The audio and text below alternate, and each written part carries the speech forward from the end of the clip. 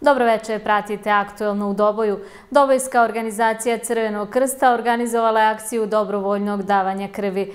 Ovo je prva u nizu akcija koje planiraju da organizuju u ovoj godini. Cilj im je da formiraju registar dobrovoljnih davalaca u Doboju.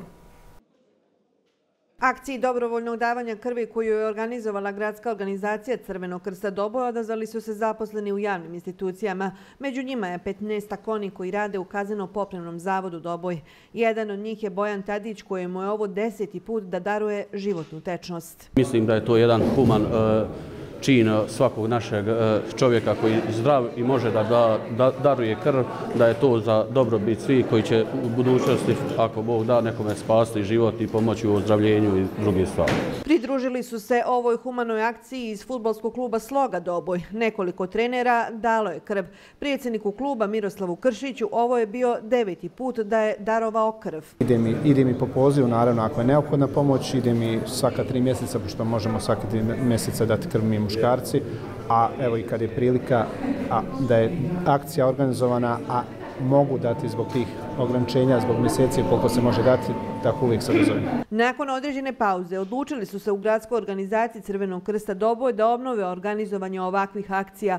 Ovo je prva u nizu u ovoj godini. U planu je da ih organizuju još 3 do 4, kojoj će se odazvati najmanje 50 dobrovoljnih davalaca krvi. Cilj gradske organizacije jeste da e, mi formiramo jedan e, registar e, svih dobrovoljnih davalaca na području našeg grada. Današnjoj akciji priključili su se i one javne ustanove i organizacije koji su se protekle samostalno organizovali. Danas nama i pripadnici kazneno-popravnog zavoda, pripadnici oružanih snaga Bosne i Hercegovine, te brojni drugi dugogodišnji davaoci e, koji su se odlučili da se e, pridruže našoj akciji, a sve naravno u cilju formiranja jednog zajedničkog registra gdje ćemo u svakom trenutku znati e, sa kojim brojem davaoca, sa kojim krvnim grupama raspolažemo.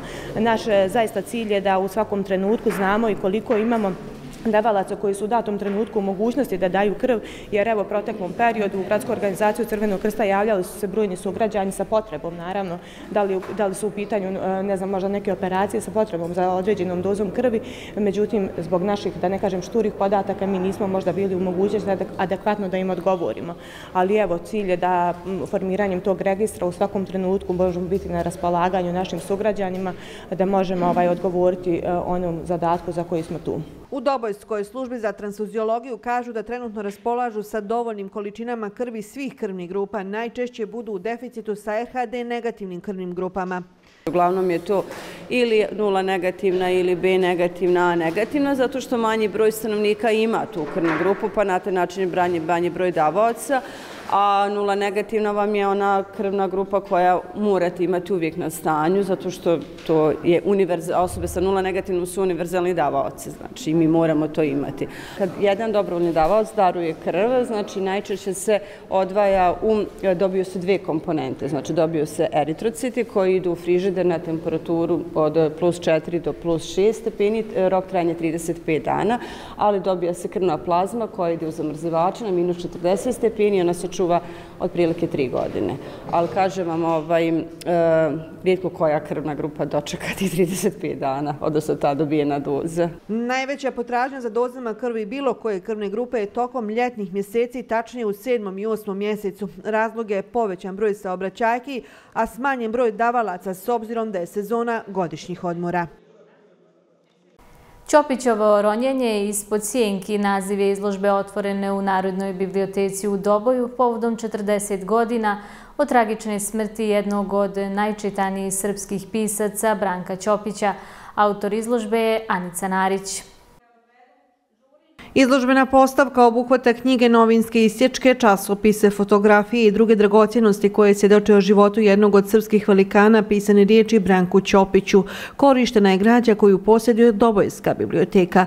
Bilo je zahirno pripremiti ovu izložbu povodom 40 godina od njegove smrti, ali opet inspirativno, istakla je autor izložbe. On je sa ovih naših krajeva iz krajine, e, proputovao je skoro cijelu Jugoslaviju za vrijeme svoga života. U bivšoj Jugoslaviji njegove knjige su objavljene u oko 6 miliona primjereka, u Sovjetskom savezu u oko 2 miliona. primjereka sam je proputovao čak 30 zemalja, njegove knjige su prevedene na preko 30 svjetskih jezika, a recimo njegova zbirka priča Krava s drvenom nogom je čitana čak i u dalekom Sibiru.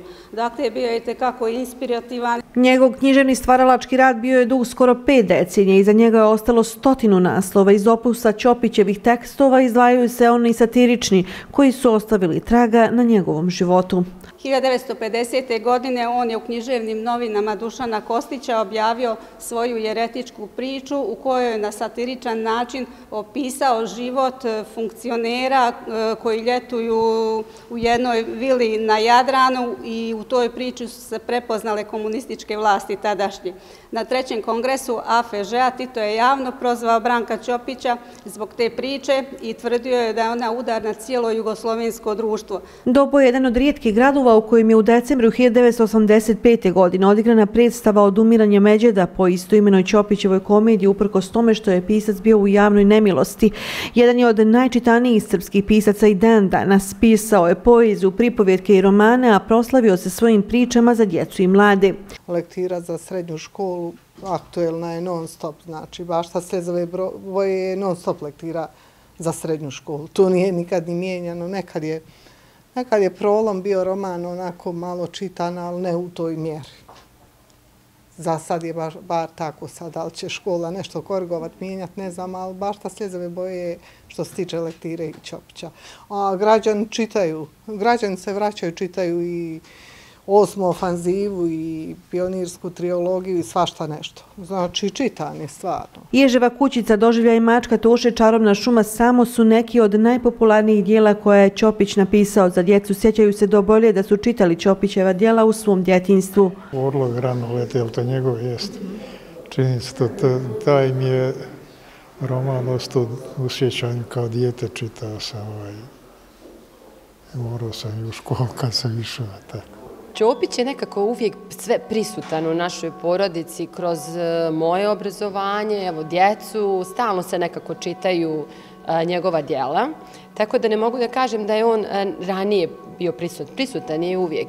A magareće godine, to je nešto što prosto je nezaboravno. Ova izložba pod nazivom Ćopićevo ronjenje ispod sjenki nastavike je ranijih posvećenih obilježavanju godišnjica velikih pisaca. Zaista imamo toliko istaknutih velikana, pisane riječi, da nije teško e, praviti čitav niz e, ovakvih e, izložbi, ovakvih predstavljanja E, tih ljudi koji su to sasvim sigurno zaslužili, jer e, e, ponekada, evo i kada prođete lektiru, kada pročitate dijela tih ljudi, potrebno je da se ponovo vratite na neki način, da se podsjetite nekih stvari, a i možda na neki način da upoznate život tih ljudi na onaj način na koji ga niste upoznali kada ste čitali njihove knjige. Branko Ćopić je sasvim sigurno zaslužio ovakvu jednu izložbu, ovakvu jednu postavku koja može, čini mi se, samo stoti dio onoga što je on uradio da prenese. Branko Ćopić rođen je 1. januara 1915. godine u selu Hašani, a napustio ovaj svijet skočivši sa Brankovog mosta u Beogradu 26. marta prije četiri decenije. Bio je član Srpske akademije nauka i umjetnosti, nadahnuti pripovjedač, stvorac zanimljivih i upečatljivih likova i događaja. Napisao je veći broj knjiga za djecu, a za posljednju zbirku pripovjedaka Bašta slezove boje dobio je Njegoševu nagradu. Bilo bi to sve za ovo sedmično izdanje emisije Aktualno u doboju. Hvala vam za pažnju i ugodan ostatak dana.